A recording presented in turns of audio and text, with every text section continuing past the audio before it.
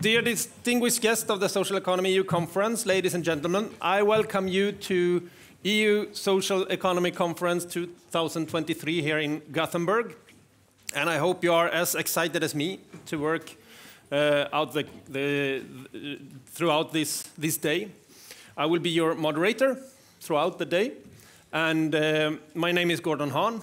I am the chairman of uh, uh Coompanion, which work with the startup and development of cooperative um, development in Sweden. Uh, I've been working with social economy internationally since the beginning of 2000, and I was reflected yesterday about how far we actually have come in this area on the EU level. If you turn back the time 20, 25 years, I remember that there were only one, in one policy area we could work with social economy on the European Union level, and that was employment.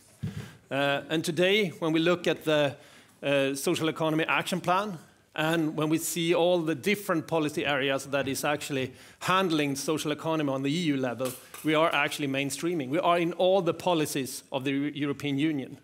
And the social economy action plan is a very important thing of that. Uh, I, I, think you had the, the interpretation there. Um, looking at Björn. Uh, you have the interpretation on your mobile phones, and there will be a QR code there. So if you use that QR code, you will entering into the in, in, interpretation on your mobile phone. So you will hear direct in, interpretation through your mobile phone in your headphones during the conference. Some other practicalities is that the toilets is just outside here, uh, directly there, or you, when go to the right, you will find more toilets. Uh, emergency exits, we have one down here, we have one down there, and otherwise the door where you entered the room in case of emergencies. Uh, we are not allowed to have any food or drinks in this, uh, in, in, this hall. Uh, all foods and drinks are served outside, and you have to drink them up outside, so you don't bring them in, in here. Uh,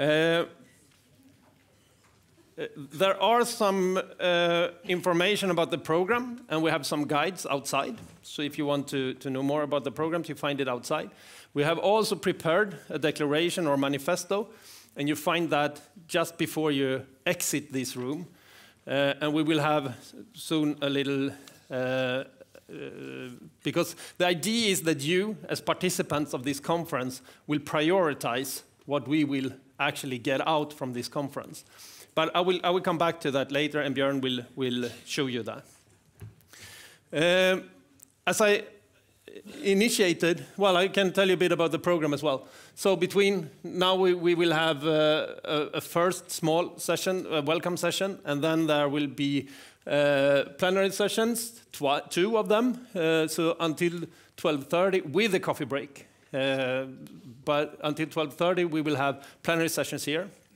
And then there will be workshops and we will present the workshops before we go to lunch so you can see where you want to go. And there will be different workshops in two levels here, but I, I, will show you more about that between 14 and 16. And then we will gather again here after a coffee break we will meet up and uh, sum, sum up this, this day between 16.30 and 17.30 in this, in this room. And there will be a reception uh, ending up the whole day at the terrace afterwards. So that's basically it. But you will also find the program uh, printed outside. Uh, as, I, as I started with, uh, the social economy is regarded today as a European success story. Uh, today, we gathering here in Gothenburg uh, to unleash the full potential of the social economy and carrying out the EU fundamental values of democracy and citizenship also into the economic sphere. Um, recently, also, the United Nations adopted uh, the resolution for social and solidarity economy, for sustainable development, and we have in this declaration that we have prepared also urged the European Union to further deepening the international cooperation for even better social economy policy development. So we do that on a more international sphere. And recently, Europe, as you all know, has faced uh, several challenges in the last decades, including complex societal challenges such as uh, environmental threats, pan pandemic issues, migration, and more recently the war in, in a neighboring country, but also historical inflation and high energy prices. And all this, we, the social economy stakeholders, may collectively build a true social market economy that reconciles economic performance with social progress and environmental sustainabilities. A main topic for today's conference is this, that if we want to do that, we need to understand that the social economy is consisted by a heterogenic uh, infrastructure of different organizations. We need to address them as that. Uh, the future work for an even stronger social economy in Europe needs to further strengthen the harmonization of legislation and finance, full inclusion in the EU market, and make the social economy impact more visible, uh, bearing in mind the diverse of the sector as well as different conditions for the social economy in different member states. So when we want to harmonize the legislation and the rules and the, and the, the tools on the European level, we actually have also to understand that it looks really, really different where in Europe you are, you are, you are um, uh, developing your social economy uh, part. So this is something we really want to highlight on this conference.